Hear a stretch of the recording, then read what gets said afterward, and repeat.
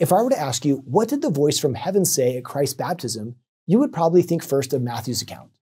In Matthew chapter 3, after Christ was baptized, a voice from heaven said, This is my beloved Son, in whom I am well pleased. But Mark and Luke record things differently. In Luke 3, we read, Now when all the people were baptized, and when Jesus also had been baptized and was praying, so in Luke's account, John the Baptist has baptized Jesus, and now Jesus is praying.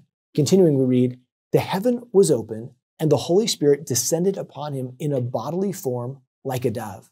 And a voice came from heaven You are my beloved Son.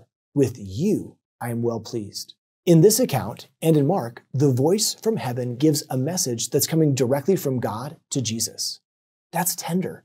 It shows that in response to Jesus' acts of devotion and prayer, God gave him messages of love and encouragement. And he does the same thing for us.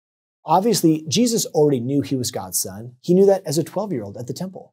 Perhaps this additional manifestation was another layer in Christ's own understanding. To see more videos like this one, simply search Seeking Jesus.